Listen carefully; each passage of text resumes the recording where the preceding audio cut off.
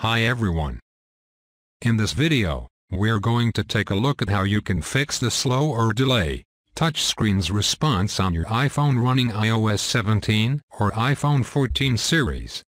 So you can see here if I tap on certain things on the home screen, it's kind of like slow and not responding at all. But if I touch and hold a little bit longer it will respond. This is because a feature has been turned on on your device to cause the issue. It is within the accessibility section so we go back into settings. So first, let's go back to your home screen. And on your home screen, you want to tap on settings. So if it is slow, you need to hold on to the items a little bit longer. And then we go down and tap on accessibility.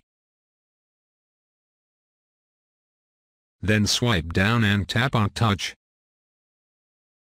then go down and tap on Touch Accommodations. And then, you can either turn off, turn off, hold durations.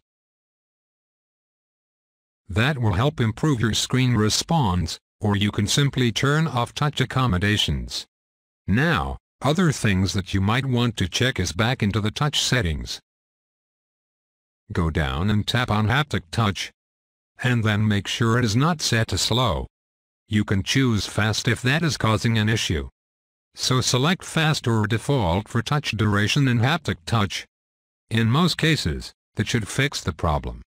However, if you are replacing a new screen for your iPhone, perhaps that screen is aftermarket, and it is, and it could be a hardware problem. Otherwise, if there is a software issue, you can also try to restart your device, perform a soft reset,